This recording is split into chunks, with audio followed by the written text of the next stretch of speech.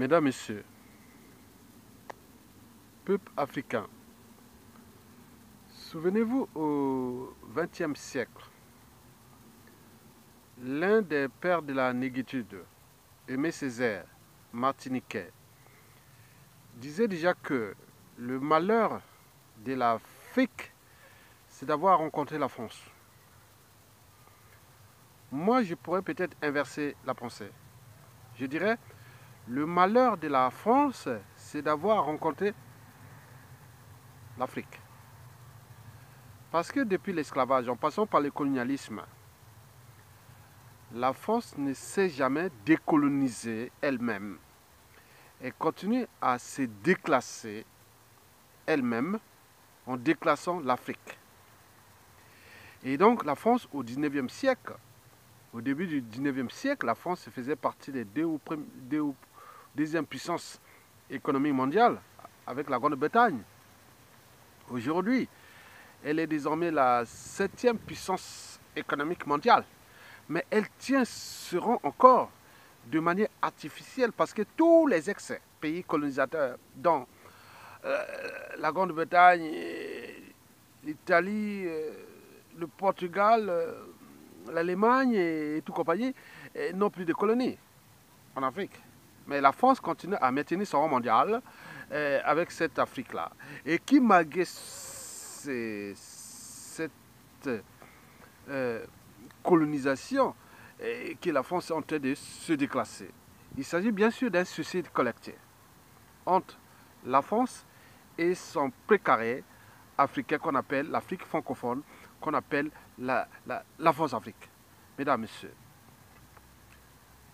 peuple africain, vous savez, vous l'avez toujours constaté, qu'à chaque fois qu'un dictateur africain, et notamment d'Afrique francophone ou de, de France-Afrique, est en difficulté, en difficulté, la France envoie son armée pour aller secourir à des tyrans souvent liberticides, antidémocratiques, antisociaux et surtout criminogènes.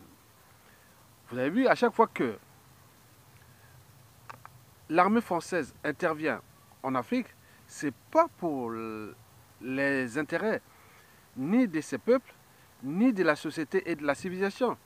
C'est simplement ce qu'on appelle les intérêts vitaux de la France et qui derrière ces intérêts vitaux se cachent aussi les intérêts particuliers et partisans des uns et des autres qui ont trouvé à la France une, comme leur compagnie d'assurance pour simplement s'enrichir en Afrique.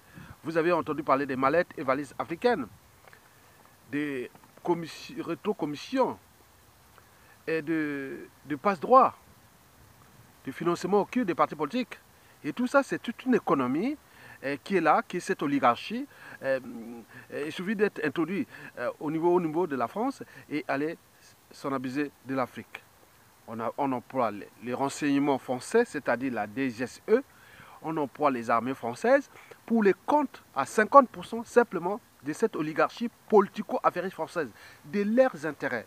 Et à côté, il faut ajouter les multinationales et que ben, derrière ça, il y a ces vrais intérêts vitaux par exemple le cas d'uranium, et pour les centrales nucléaires, le cas du pétrole qui est exploité de manière gâteuse et là-bas, et que même un ancien ministre français disait, mais comment nous Français ici, on paie-t-il des taxes si élevées sur l'énergie, surtout le pétrole, alors qu'on le prend gratuitement en maintenant des monstres au pouvoir et qui massacrent leur peuple Mesdames, Messieurs, ceci dit, donc quand vous entendez l'armée française intervenir en Afrique, officiellement, c'est pour euh, euh, protéger euh, les régimes parce qu'il y a les terroristes, et parce qu'il y a, ça, officiellement, officieusement, c'est pour sauver des régimes souvent tyranniques et agonisantes.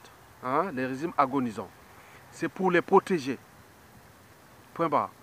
Et deuxièmement, et c'est pour protéger les intérêts de ces oligarchies politico-affairistes. Ce n'est pas les intérêts de la France. Ah, c'est la France, avec ses colonies, elle sera là, encore là, peut-être la première puissance économique d'Europe.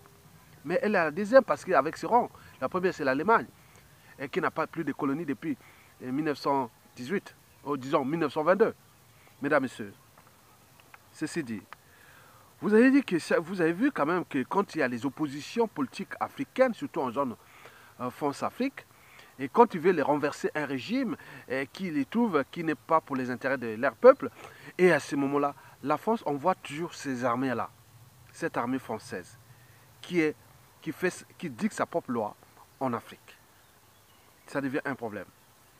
Et donc, on vient tuer les opposants. On vient tuer les rebelles qui ne sont pas pour représenter, soi-disant, les intérêts vitaux de la France. Donc, la France est là en Afrique. Et pourquoi? Mesdames, Messieurs, l'armée française en Afrique, donc, fait et défait les pouvoirs politiques et les oppositions politiques en Afrique. En réalité, on n'est plus dans l'esprit même de la société et de la civilisation. On est dans l'application simple des lois de la jungle, du plus fort et, compagnie. Mais plus fort par rapport à qui? L'armée française, c'est comme euh, un, professionnel euh, qui se bat avec les, amateurs. Si vous allez apprendre les cours de boxe et vous êtes si fort, mais moi, moi, je pense que si je suis professionnel, je vais chercher à me battre contre les professionnels. Si je suis professionnel, je ne veux pas, au niveau déontologique, aller que battre avec les amateurs. L'armée française se bat avec les amateurs en Afrique qui sont déjà les peuples démunis face à des régimes parfois tyranniques, souvent tyranniques, et que les peuples cherchent à s'affronter là-bas, mais la France vient démontrer ses muscles là-bas. Mesdames, Messieurs, en effet, ce mois-ci, au nord du Tchad, s'est passée l'intervention de l'armée française avec les Mirage 2000 qui ont bombardé sur 50 colonnes qui venaient vers Djamena pour renverser euh, le, dictateur Idriss Déby qui est là depuis 1990. Euh, donc il a déjà 29 ans. Ça commence à bien faire pour, pour les restes. Et donc, en 2008, la France avait déjà déjoué cette affaire-là.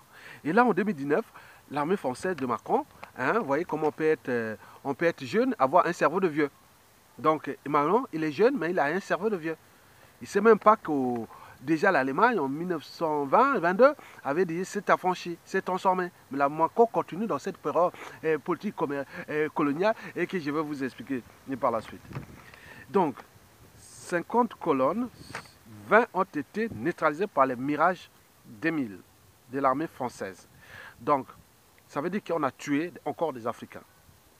Et donc, ça vient augmenter la méfiance et la défiance, voire les dégoûts de la France. Mais la France tient encore de manière abusive euh, cette, cette image parce qu'elle mettait ces monstres-là. Et que nous sommes dans les cycles et qui à tout instant peut tout peut chavirer.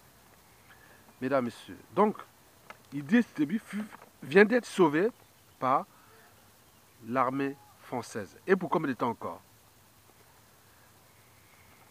Mesdames, Messieurs, pour mémoire, cette armée française qui montre ses muscles qu'en Afrique, pour ceux qui ont la mémoire courte ou longue, ou ceux qui ont appris, l'ignorance est la pire des souffrances.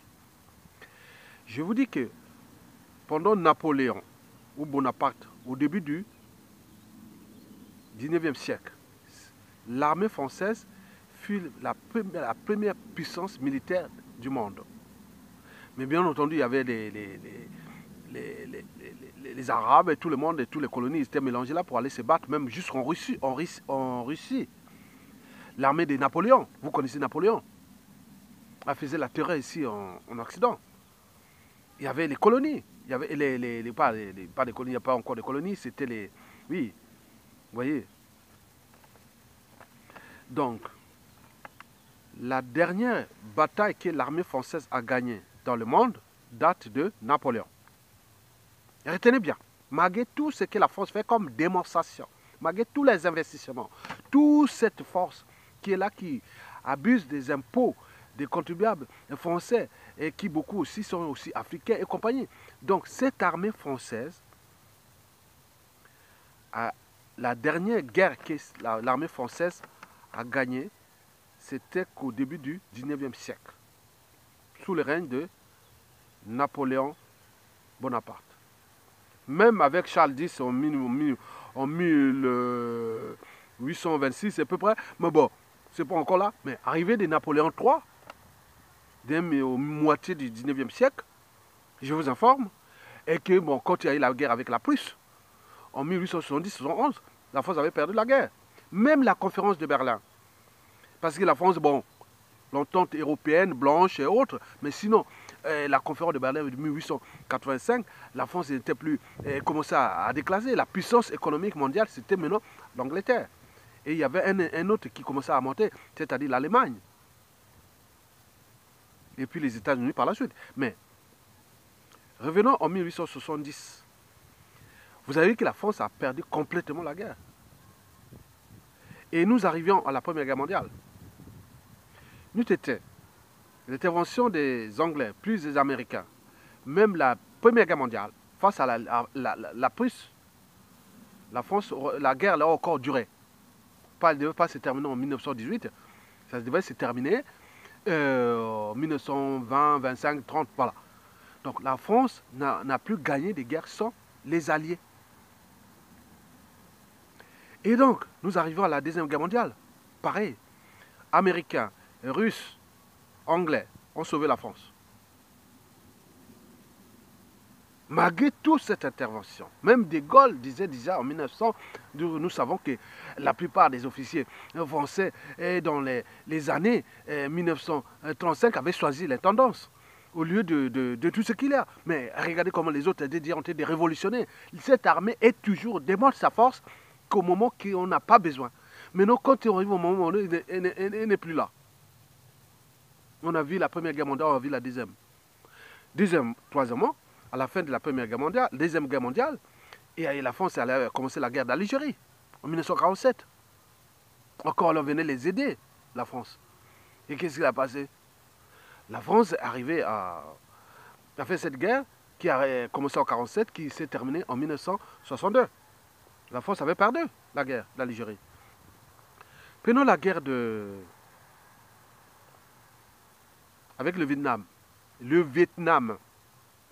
Alors, c'est un cas d'école. La France a perdu. Bon, on peut encore ajouter.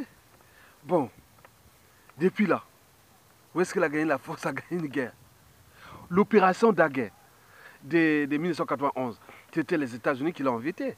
Donc la France vient toujours derrière sous le nom de, de, de euh, oui, ils restent là, occidental, les restent occidentaux, ils vont derrière les États-Unis, les Anglais. Les Anglais, les Anglais, quand ils se décident, ils vont jusqu'au bout. Ils n'ont pas besoin de là. Ils ne font pas la guerre en Afrique. Il n'y a que la France qui fait la guerre en Afrique. Quand vous êtes un professionnel, pourquoi vous allez faire la guerre avec les, les, les, avec, euh, comment on appelle, avec les gens qui ne sont pas capables? Euh, ils sont des amateurs. Bon, vous avez vu quand même, n'oublions pas, avec les malgaches, hein, Madagascar, la France avait perdu. C'est pourquoi ils ne s'aventurent pas du tout là-bas.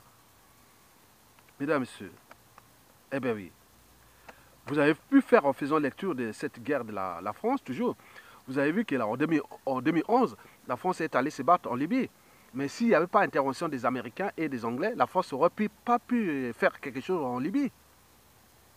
Et si la Libye avait un allié quelque part comme la Russie ou autre, et la France aurait perdu, c'est pourquoi les Américains secours, secours? C'est les Américains qui sont venus neutraliser l'armée de, de, de, Kadhafi. Oh, c'est avec Obama. Mais ce n'est pas la France. Prenons en 2013. La France a voulu montrer ses muscles en Syrie. Et qu'est-ce qu'elle a fait? Et les autres ont dit, les Anglais, les Américains, non. Mais la France, Hollande devait continuer s'il était fort, comme il fait en Afrique. Pourquoi n'est pas allé tout seul Rien du tout. Elle revient toujours en Afrique pour monter avec les contribuables. Voilà. Donc ce n'est pas une armée euh, euh, de, euh, de, guerre, c'est une armée coloniale. Puisque, en tenant compte déjà de l'historique qu'on a fait de manière brève, mais il y a encore d'autres éléments. Mais alors, pourquoi cette armée monte-t-elle ses muscles qu'en Afrique? La réponse à ça n'est pas sorcier. Et pourquoi? Parce que nous avions trois accords avec la France deux accords ont été signés sans notre consentement. Et le euh, dernier accord avec notre consentement, mais dans une naïveté et passivité sans borne. Donc les deux premiers accords qui ont été faits sans notre consentement fut d'abord, et c'est déjà de 1885, le partage de l'Afrique. La force était là. Malgré sa défaite, défaite avec la Prusse en 1870-71, mais on a eu quand même, leur a donné quand même ses territoires. Et donc la France, on abuse de ces traités qui déjà, l'Allemagne qui n'a plus de colonies, elle est la première puissance économique mondiale, de, la première puissance économique d'Europe et la quatrième mondiale. Elle n'a jamais changé, malgré les, les, les aléas, les circonstances. Mais la France, depuis là, essaie de classer leur septième. Mais elle a encore des monnaies coloniales, des impôts coloniaux, elle a des bases militaires, elle a les droits de veto et tout compagnie, mais elle est train de, de, il y a une mentalité française et qui nuit gravement à l'évolution de ce même pays et qui, à, conséquent, par y cocher, nuit à, l'avenir de ces peuples là-bas. Donc, conférence de Berlin, sans notre accord, et d'autres, tous ces gens qui avaient signé ces pactes-là, ils se sont tous affranchis de l'Afrique. Tous les ex-colonies, il n'y a plus. Regardez en Afrique. Plus de conspiration contre la volonté des peuples là-bas. Plus, plus, plus, il n'y a plus rien. Il reste que la France. C'est les raisons pour lesquelles je reviens sur la pensée de, l'un des pères de la négritude avec, euh, avec Senghor, mais Aimé Césaire de la Martinique, hein, euh, qui fut longtemps maire de, de, Fort-de-France. Bon, il avait bien dit que quoi? Le malheur de l'Afrique, c'est d'avoir rencontré la France. Je dis non, le malheur de l'Afrique, c'est euh, le malheur de la France, il faut inverser, c'est d'avoir rencontré l'Afrique. Et c'est elle qui va conduire. Ce n'est pas qu'au niveau des données macroéconomiques. Les prenons le problème de, l'énergie nucléaire, avec les déchets qui prennent là-bas, l'uranium, qu'ils exploitent. Mais ils vont les stocker ici. Demain, ils ne vont plus les cacher par-ci, par-là. Ça va être caché ici en France. C'est des situations nouvelles que demain, la France va, va, va répondre que, comme on dit, hum, oui, les, euh, euh, qui, qui sèment le, euh, je sais pas, euh, sèment le, vent, vont récolter, voilà, des choses comme ça. Donc la France va récolter ça. Bon, nous avions eu l'histoire de la Deuxième Guerre mondiale. La France est alliée, je ne sais pas comment a-t-elle sauvé son rang parce qu'elle avait des colonies. Mais on a fait l'Union occidentale entre blancs, on l'a laissé la France. Mais s'il n'y avait pas le général de Gaulle, la France, nous aurons déjà sorti de cette crise-là depuis. Parce que la volonté des Américains, c'était décoloniser l'Afrique. Mais on a donné un rôle, un à, la, à la France, c'est-à-dire son force, euh, euh, on a donné à la France euh, euh le rôle de gendarme de l'Afrique. Après la, conférence de Berlin, on est arrivé à un ancien ordre mondial qui est d'actualité, que la France, le seul pays à encore appliqué ça. On l'avait donné un rôle de gendarme de l'Afrique. En plus de ça, on lui a donné un droit de veto et sa place au Conseil de sécurité. Alors que tout ce monde a changé. Il y a d'autres puissances qui sont là, plus puissantes que la France. Et donc, la France continue à, maintenir là parce qu'il faut maintenir l'Afrique dans ses statu quo. Sinon, il est perdu parce que ce droit de veto de la France tient avec ses colonies. S'il n'y a pas ces colonies, la France n'a plus de, rôle de droit de veto. On est bien d'accord? Et donc, pour le, le, ces traités, ces accords-là qui ont été signés contre nous, sont notre consentement des conférences de Berlin puis la Seconde Guerre mondiale depuis la conférence de Yata et tout ça, le sommet de Yata ou conférence, je ne sais pas quoi. Bon, nous avons euh, eu, les, euh, la France a eu le droit de veto, les gendarmes de l'Afrique, puis, euh, n'oublions pas le Fonds monétaire international, et donc il y a eu les leviers politiques, militaires et économiques. Maintenant, lui, il a utilisé ces leviers de Fonds monétaire international, et qui, en arrivant en 1958-1960, on arrive à là où? À la France-Afrique. Et là, c'était avec notre consentement, mais de manière un peu naïve et passive. Et donc, ça nous crée des problèmes actuellement. Donc, je vous informe que le monde occidental fonctionne par des, des accords, des traités, des conventions. Donc, vous ne pouvez rien faire ici en Occident sans signer un accord, un traité. Il faut signer, il faut quelque part signer quelque chose ça fait partie des sociétés constituées. Et pas nous on dit, bon, on fait confiance, on fait ça, ceci. Mais non, il y a des règles, il y a des lois. Donc on met les trucs là pour, et au cas où il arrive quelque chose, on sait qu'on monte le texte. Il est là, le texte. Donc nous avons signé des accords, des traités, des conventions, c'est où. Par exemple, la France peut intervenir en Afrique et faire ce qu'il veut là-bas. C'était ça. La France contrôle toute la monnaie de, ces pays, hein, pays colonisateurs. La France a le droit de veto sur les résolutions, par exemple, indicateurs qui tuent, massacrent le peuple là-bas. Donc la France ne dit pas que bon ben il devient ennemi et autres. Bon, eh, on les laisse là. On ne peut pas les transférer ni à la Cour pénale internationale ni ceci. Donc la France fait son, sa loi. Donc la plupart des dictateurs qui ont massacré des peuples eh, en Afrique francophone, ils sont toujours en liberté. Alors que ceux qui sont innocents, ils sont parfois envoyés à la CPI et autres. Donc ça va rendre dans ces accords-là que nous avions signés. Je vous l'ai dit que nous avions eu trois accords. Deux sans notre consentement. Ceux de 1885 et l'autre de 1945. Et puis ceux de notre, avec notre consentement. Euh, ces accords-là de, 1800, de 1958 à 1960. Et que, comme nous n'avons pas de peuple susceptible d'opposer euh, euh, la résistance à ces accords, ou même de trouver des mécanismes de sortie de ces accords, mais alors qu'est-ce que ça peut faire? Donc la France utilise ces accords. Point barre. Contre vous, ce n'est pas pour vous. C'est contre vous et pour ses intérêts. Et qui sont d'abord les intérêts de la France, intérêts vitaux, et également les intérêts de ceux qui viennent derrière la France pour vous faire comme ça. Ils sont nombreux. Mesdames, Messieurs, le paradoxe, c'est que, bon, ben, il faut le dire, que la France donne des leçons de démocratie en Venezuela et partout, partout, partout, mais en Afrique, il n'est pas capable. Mais qu'est-ce que ça peut faire? Puisque les peuples de ces pays ne sont pas eux-mêmes capables de s'affranchir de ces accords signés depuis la conférence de Berlin, passant par la Deuxième Guerre mondiale, et puis la France Afrique, à la fin du, siècle dernier, c'est-à-dire dans les années 1958-60, qui sont toujours d'actualité. On n'était pas là. Mais nous n'avons pas de peuple. On ne peut pas construire une démocratie quand on n'a pas de peuple. Bien sûr, ces peuples n'ont pas encore franchi les barrières de la raison, de de la conscience et des sons de la souveraineté et autres. Qu'est-ce que ça peut faire? La France, on abuse. Et c'est les raisons pour lesquelles, dans cet abus, parce que tout pouvoir, son code pouvoir, crée naturellement des situations de, déséquilibre. Et ce déséquilibre va entraîner la France dans les catombes.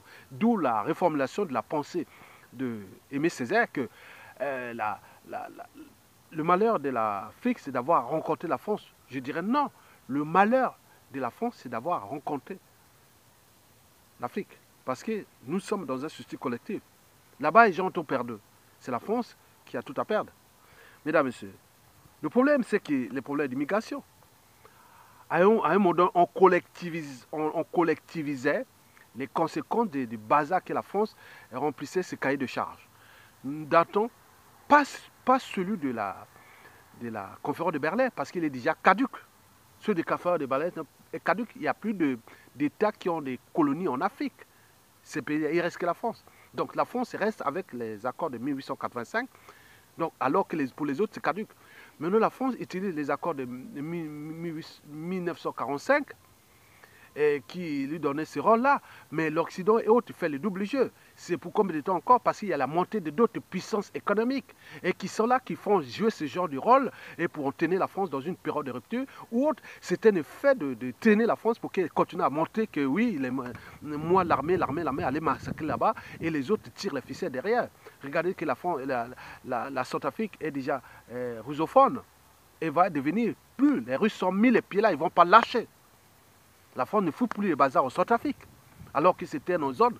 Et tout autour, avec la Centrafrique, combien d'autres victimes pour la France dans la sous-région qui livre deux tiers de son fonds CFA, donc l'équilibre des comptes publics françaises.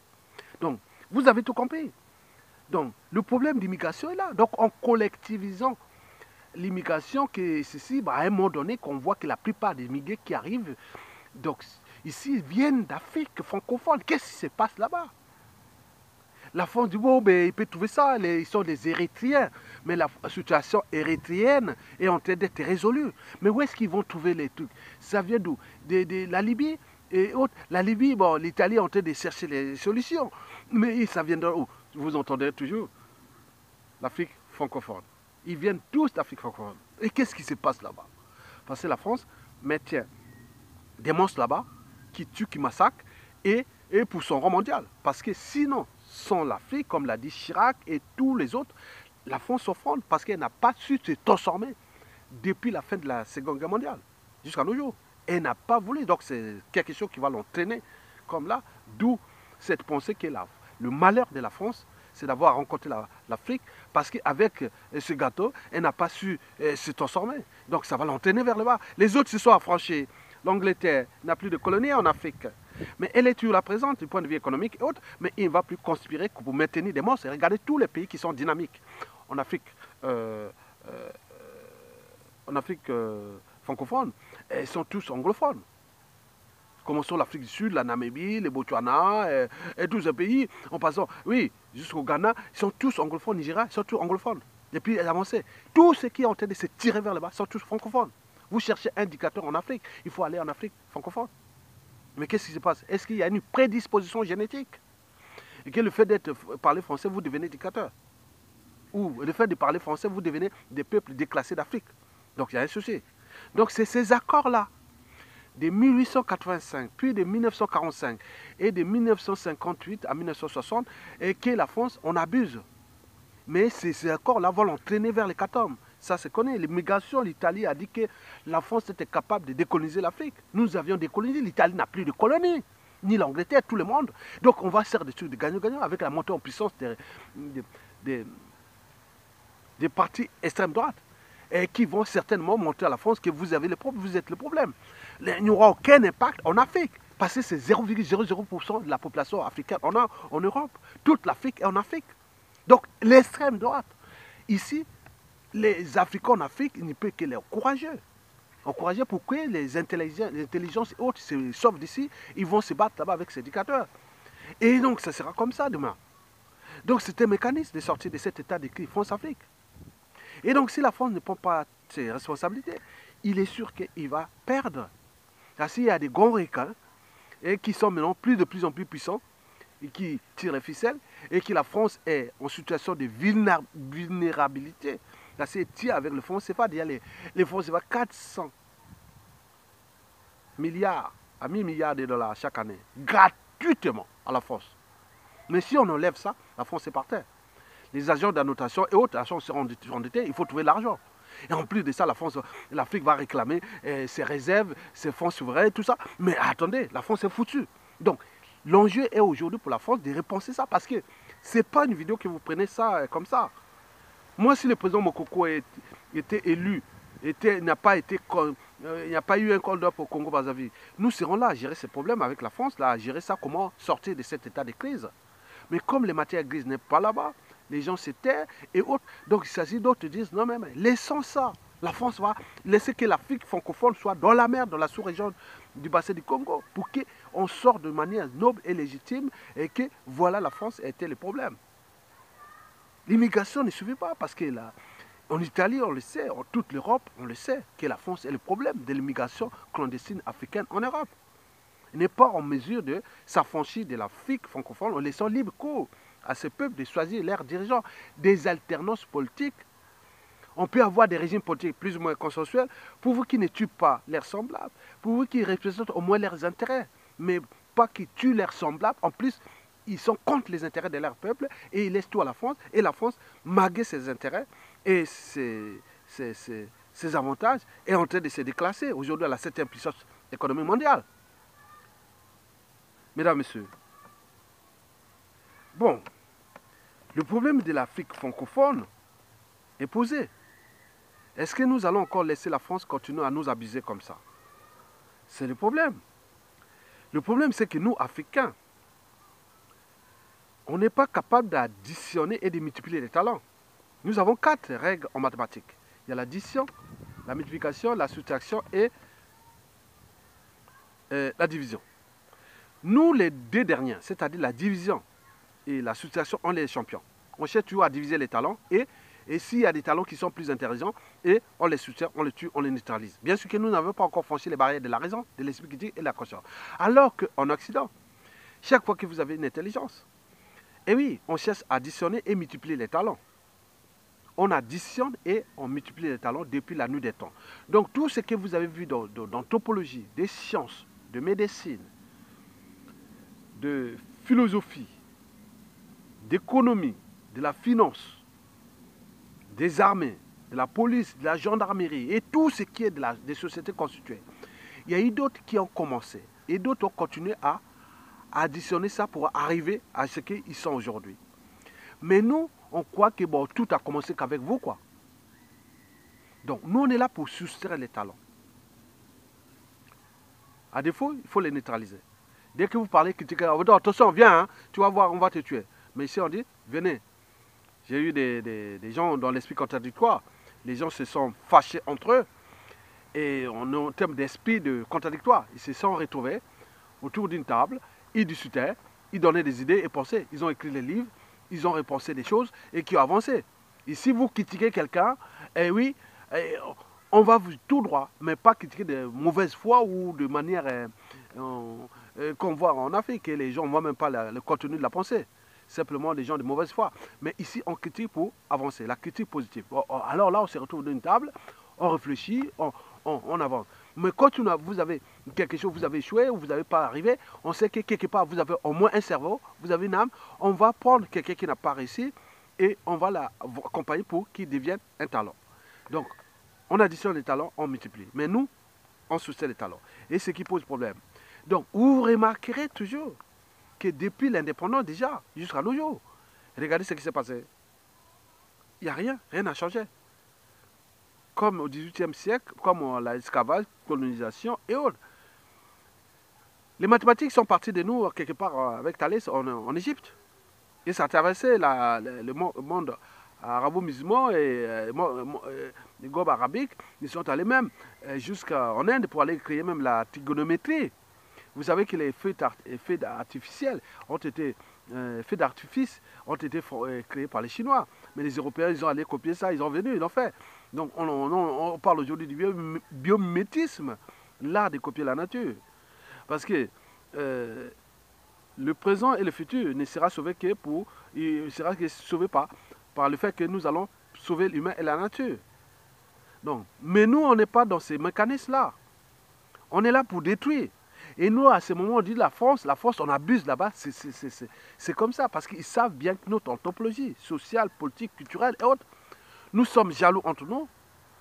Nous ne voulons pas que les uns et les autres arrivent, ils parviennent, et quand il y a quelqu'un plus intelligent, c'est génétique, c'est, oui, il faut, il faut, on peut, non, attendez, vous pouvez tout, il y a des gens éduqués ici dans ces milieux, les régimes politiques là, que ce soit du côté de la dictature ou même l'opposition, beaucoup étudiés ici en, Occident, ils sont vécu des, années. Mais quand ils repartent, ils repartent là-bas, la nature reprend ses droits. Donc ils sont toujours dans le sens de la division et de la situation. Mais tous ceux qui ont les talents d'additionner euh, et de multiplier les talents, qu'est-ce qu'ils ont été? Ils ont été tous neutralisés par les Africains eux-mêmes. En intelligence avec la France, pour son rang mondial. Il y a eu des présidents, chefs d'État africains, très intelligents. Ils ont été tous neutralisés avec la complicité de nous-mêmes, Africains, et de la France, qui fait ça. C'est caviar. Il ne s'agit pas d'aller chercher. Au moment où je parle, le cas du Congo-Brazzaville, ou même du Gabon, du Cameroun et autres, il y a des France africains qui sont là, ils vont, ils vont squatter derrière l'Elysée. Ils cherchent là des réseaux autres, ils attendent leur tour pour aller détruire l'Afrique.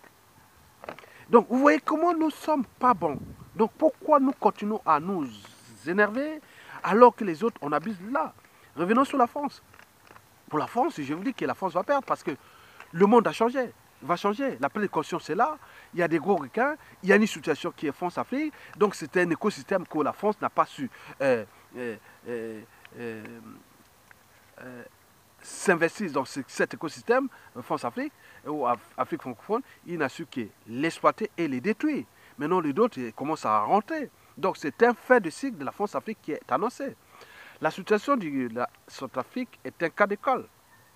Et la, France, la, Centrafrique pourra devenir de plus en plus puissant. Et à ce moment-là, il pourra d'ailleurs maintenant avoir des impacts sur d'autres pour réformer l'Afrique. En réalité, la Centrafrique, c'est un cerveau qui est situé sur l'Afrique. C'est comme la Belgique en Europe. C'est un cerveau qui est placé là, euh, sur, euh, sur l'Europe. La Centrafrique, c'est pareil. Et donc, ça pourra venir de la Centrafrique. Et donc, nous devons comprendre que les gros poissons mangent les petits poissons. Mais dans la nature, elle a su toujours capter la juste part. Mais la France ne sait pas capter la juste part. Donc elle vient s'amuser là-bas avec ses démonstrations de force militaire. Et qui à côté, on en rigole. Nous avons vu les gens qui suivaient et ces gens-là, les militaires français en Côte d'Ivoire, au, au Centrafrique, au Mali, au Congo-Brazzaville, au Gabon, ils viennent montrer ça, cet esprit colonial. Mais ça fait rire beaucoup d'autres. Donc, pour comme de temps encore. Donc, si un professionnel un professionnel doit se battre avec les professionnels.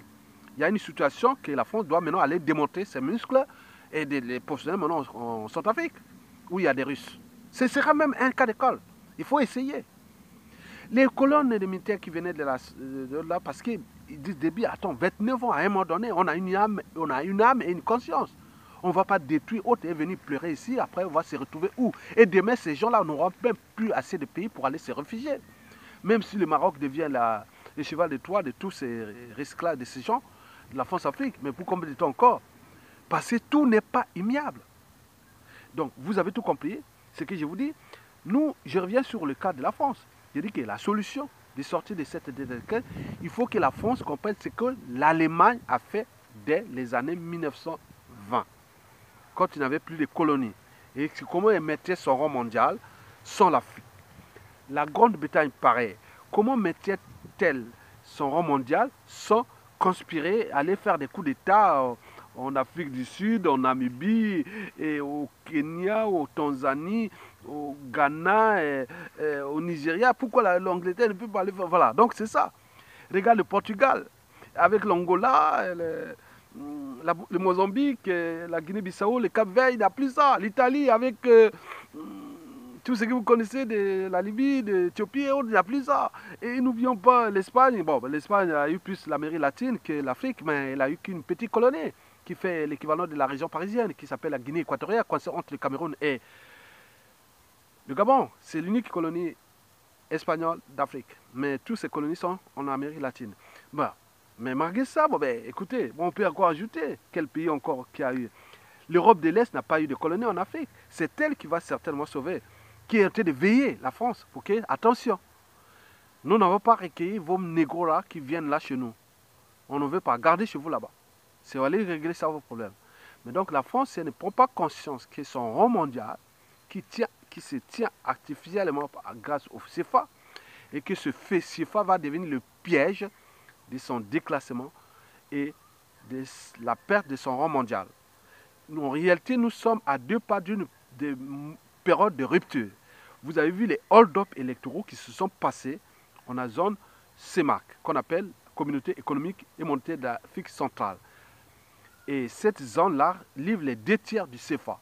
Il savait que le CFA, avec la malgouvernance et les hold-up électoraux qui se sont passés au Congo-Brazzaville, au Gabon, au Cameroun, au Tchad, et donc ça commence à bien faire. Donc il y a un déclassement général.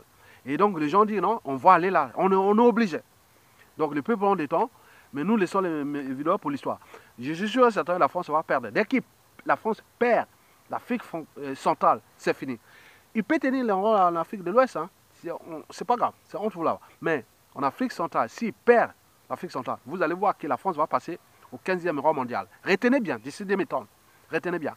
Donc, en voulant maintenir son rang, en tuant, en maintenant ses morts, c'est un suicide collectif.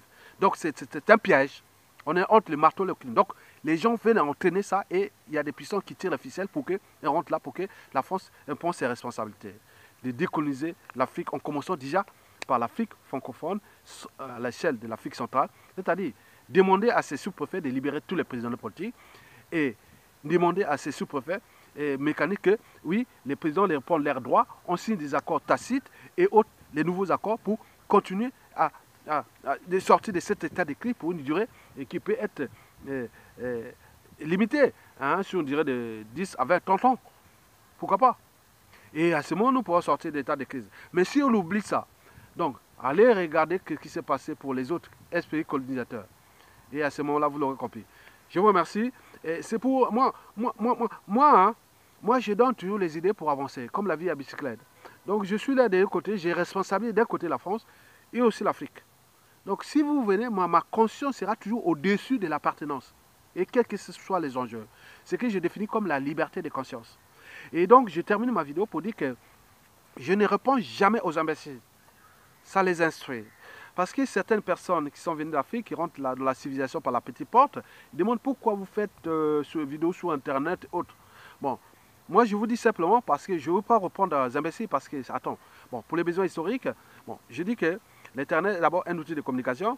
Il y a l'article 80, euh, l'article 11 de la Déclaration universelle des droits de l'homme et du citoyen datant de la Révolution française d'ailleurs, en 1793 il avait écrit que toute, personne a le droit de parler, de, publier, de, de, dire ce qu'il veut. Hein. Il est libre, c'est un, humain, il peut parler librement. Euh, sauf à répondre de la liberté devant les, lois en place. Donc moi, la loi applicable ici, et c'est de la France, où il y a les Français, c'est une société constituée, où dans les lois de la civilisation occidentale, passer à la liberté d'expression, d'association et autres. Bon, voilà, vous ne voulez pas m'éterner, non, non, mais quoi, pourquoi tu parles là? Pourquoi vous venez déjà là? Zappez-vous, allez prendre une caméra, faites une vidéo, à vous, c'est bien comme ça. Ça peut aider tout le monde. Donc ne venez pas rentrer là parce que vous vous faites du mal vous-même. Mes vidéos aussi sont du cadre historique. Parce que l'histoire s'est construite. L'histoire, c'est euh, l'avenir, le futur, c'est le passé et le présent qui ignorent. Bon, c'est aussi ma descendance, ma tribu, ma, mes amis, mes ceux qui m'ont connu et autres, et tout ce qui sera aussi de l'histoire. Donc c'est là. Donc on diffuse ça pour l'histoire dans cette vidéo. Mais aussi l'Internet, c'est un outil aussi de, commerce et, et, et, plein de choses. Et d'image, oui, il ne suffit pas d'avoir des bagages, mais il faut savoir où les déposer. Donc je les déposé ici, sur Internet. Donc les bagages sont topologiques, culturels, sociétales, civilisationnels et compagnie que je dépose. Mais pourquoi vous venez déterminer pour qui? Au lieu d'aller attaquer à Sassou Nguesso ou à ses dictateurs, vous venez nous attaquer. Mais nous, on n'a pas de problème. Nous, on est bientôt les grands-pères. On a des générations qui vont voir ces vidéos, c'est pour nous. Mais pourquoi vous venez intervenir? Croyez qu'on est seul dans ce monde? Non. Prenez votre route, taillez votre route avec vos enfants, petits-enfants ou famille haute, mais laissez-nous faire ce que nous faisons. On sait ce que nous faisons. Et troisièmement, vous voyez exemple en Occident, et pour faire toute activité, même économique, haute, même administrative, déclarer ceci, ceci, maintenant tout est sur Internet. Donc si vous rentrez dans l'Internet par la petite porte, vous allez tout perdre. Donc restez à... Laissez-nous chacun avec son rôle et ses missions dans cette vie, dans ce monde. Donc venez pas et faire ce que les gens ont quelque part une mission. J'ai une mission. J'ai une mission. Oui. Regarde, elle est là. Regarde ma main. Ceux qui savent lire les signes catomosiques. Regardez là. La ligne de vie et compagnie. Donc j'ai une mission dans ma vie. Regarde. C'est tout est dessiné là. Il y a un M. Regardez ça en cartomosie. Vous savez que ce Ayatonga a une mission. Et vous l'avez compris. Merci.